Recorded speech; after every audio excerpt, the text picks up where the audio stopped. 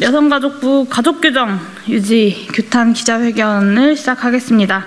얼마 전 김현숙 여성가족부 장관은 가족 범위 확대를 추진하겠다던 기존의 여성가족부의 입장을 번복했습니다.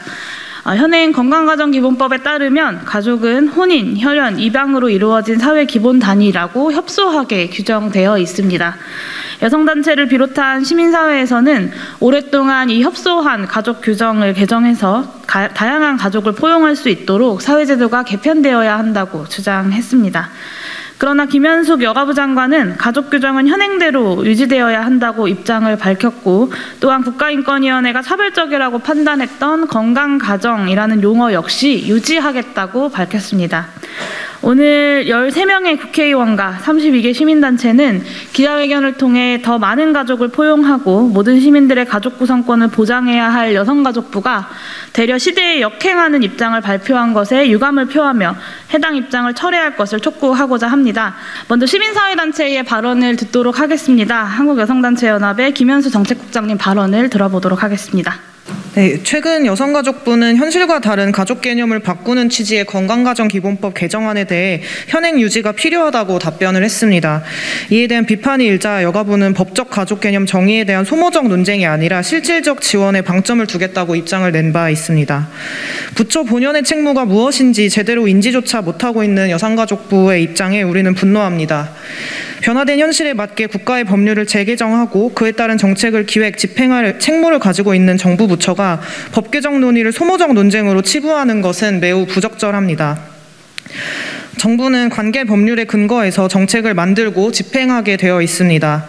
그러나 협소하게 규정된 법적 가족 개념으로 인해 법 테두리에서 배제된 채 시민권을 박탈당하고 있는 수많은 국민들이 존재함에도 어떻게 실질적으로 지원하겠다는 것인지 도무지 이해를 할 수 없습니다. 현행 건강가정기본법은 법의 명칭에 건강가정이라는 용어를 사용해서 건강하지 않은 가정이라는 상반된 개념을 도출시킴으로써 차별을 야기하고 여전히 결혼과 혈연으로 맺어진 부부와 그 자녀로 구성된 가족만을 정상가족이라는 전제를 담고 있어서 문제적입니다. 이러한 이유들로 인해서 2004년 법 제정 당시와 그리고 제정 직후부터 현재까지 법 개정의 필요성이 계속해서 제기된 바 있습니다.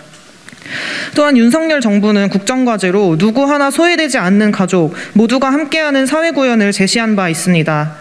누구 하나 소외되지 않는 가족을 구현하기 위해서는 현실을 반영하지 못하는 법적 가족 개념을 다시 정의하는 것부터 시작해야 합니다. 여성가족부는 소모적 논쟁 취급할 것이 아니라 이미 한참 늦어서 시대, 시대착오적인 건강가정 기본법 개정에 앞장서야 합니다. 네, 이상입니다. 네, 차별금지법 제정연대 공동집행위원장 장예정입니다. 아, 우리는 지금 차별금지법도 만들지 못하는 아니 만들지 않는 정치가 키워낸 혐오 선동이 한국 사회를 끝없이 역행하게 하는 현장을 목격하고 있습니다.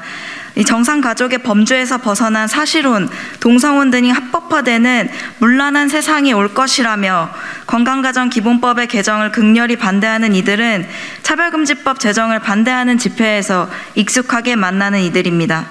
잠시 후 10시에는 용산 대통령 집무실 앞에서 개정 교육과정 시안에 성평등한 내용이 반영될 것을 요구하는 시민사회의 기자회견이 예정되어 있기도 합니다. 성평등과 성소수자의 존재에 대한 내용을 삭제할 것을 요구하는 조직적인 혐오 세력의 움직임이 거셉니다. 마찬가지로 차별금지법 제정을 반대하는 이들과 같은 이들입니다.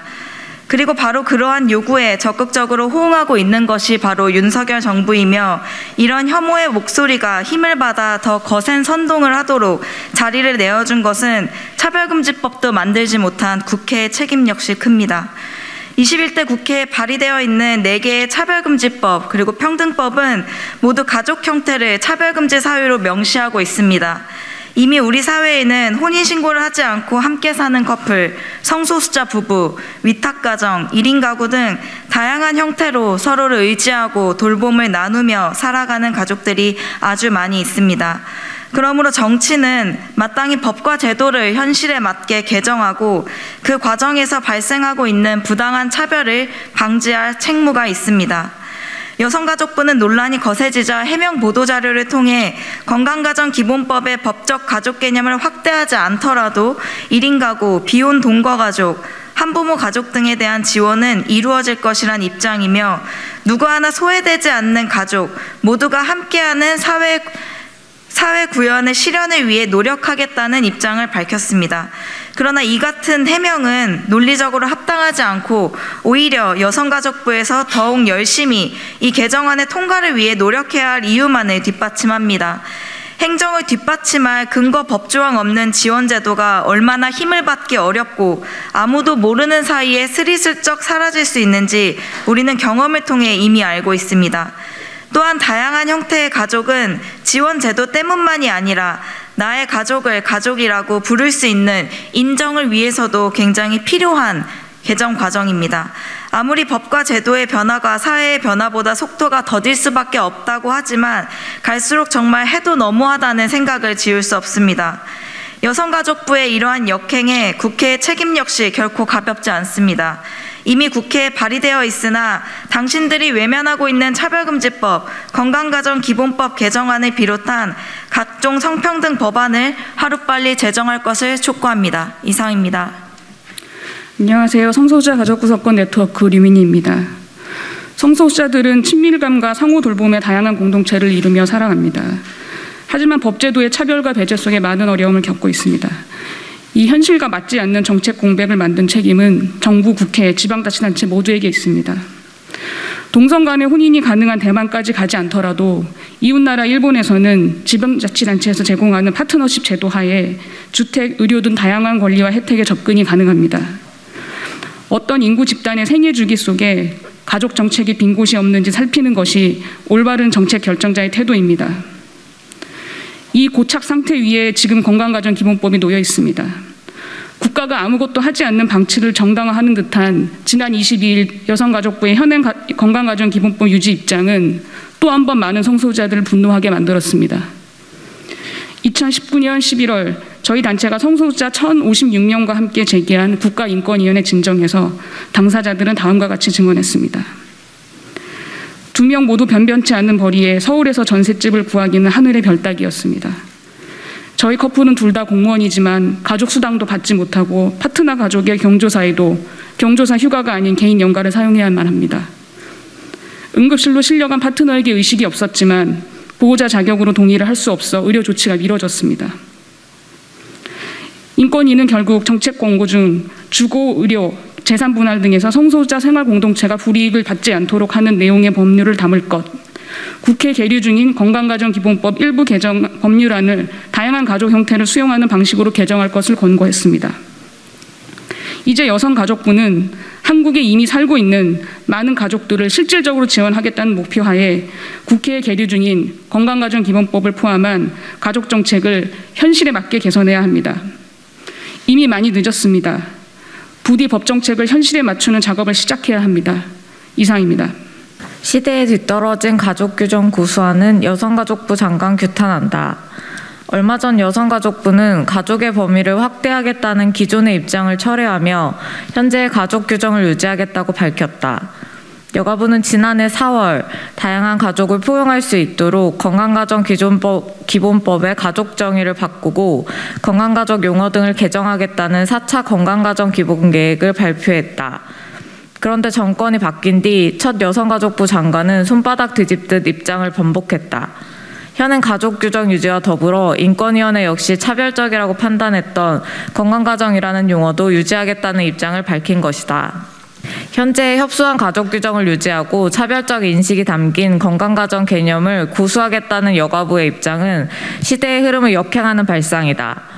2년 전 여가부에서 진행한 가족 다양성 국민 인식 조사에 따르면 10명 중 7명이 혼인 혈연 여부와 상관없이 생계, 생계와 주거를 공유한다면 가족으로 인정해야 한다고 응답했다. 결혼을 하지 않은 연인이나 친구끼리 거주하는 비친족 가구는 47만여 가구에 달하고 비친족 가구원은 100만 명을 돌파했다. 동거 커플, 동거 비용 공동체, 성소수자 공공, 공동체, 한부모 가족, 1인 가구 등 실제로 다양한 가족들이 현실에 존재하고 있다. 그러나 대한민국의 가족 제도는 이러한 변화를 포용하지 않는다. 여전히 혈연, 이성간 혼인으로 구성하는 가족만 정상 가족으로 여기고 다양한 비정형적 가족을 법 제도 밖으로 배척하고 있다. 정상 가족이 아닌 가족들은 위기 가족으로 분류되어 자녀적 복지의 대상자라는 낙인을 경험하며 1인 가구, 동성 커플, 비혼 동거인들은 정책과 제도의 대상으로 여겨지지도 못한다. 혼인, 혈연 관계만을 가족으로 인정하는 낡은 가족 규정은 돌봄, 노동, 주거, 복지, 상속, 장래 등 생애, 생애 전 과정에서 차별을 만들어 왔다. 또한 사회의 기본 구성 단위를 정상 가족으로 여기는 사회 제도는 사회적 재생산 비용과 돌봄 부담을 개인과 가족에게 돌리고 있다. 이제는 국민의 인식과 현실에 동떨어진 낡고 협소, 낡고 현, 협소한 가족 개념을 바꾸어야 한다. 윤석열 정부는 누구 하나 소외되지 않는 가족을 국정과제로 발표했다. 현재 차별적이고 시대에 뒤떨어지는 가족 규정을 바꾸지 않고는 절대로 정책 목표를 달성할 수 없다.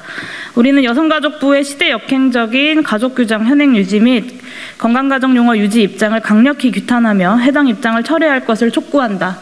정부와 여성가족부는 소모적인 전 정권 지우기를 중단하고 모든 개인들이 자율적으로 새로운 가족과 관계를 구성할 수 있는 권리를 보장하라. 2022년 9월 28일 참가자 일동. 네, 어, 오늘 기자회견에는 기본소득당 용해인 저, 저와 더불어민주당 강민정 의원님, 양이원영 의원님, 그리고 유정주 의원님, 진성준 의원님, 최강욱 의원님, 어, 최혜영 의원님, 황운하 의원님, 그리고 정의당 강은미 의원님, 배진교 의원님, 유우정 의원님, 이은주 의원님, 장혜영 의원님이 국회에서 함께 해주셨습니다. 또한 기본소득당 여성주의 의제기구 베이직팸이 경주 여성노동자회, 광주 전남 여성단체 연합, 다른 세상을 향한 연대, 대구 경북 여성단체 연합, 대구 여성노동자회, 대, 전 여성단체 연합, 변화를 변화된 미래를 만드는 미혼모협회 인트리, 대구 여성의전화, 대구 여성인권센터, 대구 여성회, 천안 여성의전화, 한부모 가족회 한 가지, 성소수자 가족 구성권 네트워크, 성소수자 차별반대 무지개 행동, 우리 더불어 이웃, 유니브 페미, 전국 전북 여성단체 연합, 제주 여민회, 제주 평화인권연구소 왓, 젠더정치연구소 여세연, 진보당 인권위원회, 차별금지법 제정연대, 평화를 만드는 여성회, 한국성폭력상담소, 한국여성노동자회, 한국여성단체 연합, 한국여성민우회, 한국여성회 전화, 한국청소년 청년 감염인 커뮤니티 R, 한국한부모연합, 행동하는 성소수자 인권연대에서 함께 해 주셨습니다. 네, 이번 기자회견을 통해 여가부 장관의 퇴행적인 행보에 제동을 걸고 기존의 여성가족부가 추진하고자 했던 건강기본, 건강가정기본법 개정이 이루어질 수 있도록 최선을 다하겠습니다. 네, 기자회견을 마친 후에는 오늘 국회 도서관 지하에 있는 소, 소회의실에서 건강가정기본법 개정을 위한 토론회가 열릴 예정입니다. 아, 많은 언론인 여러분들의 취재도 요청드리겠습니다. 네, 기자회견 이것으로 마치도록 하겠습니다. 고맙습니다.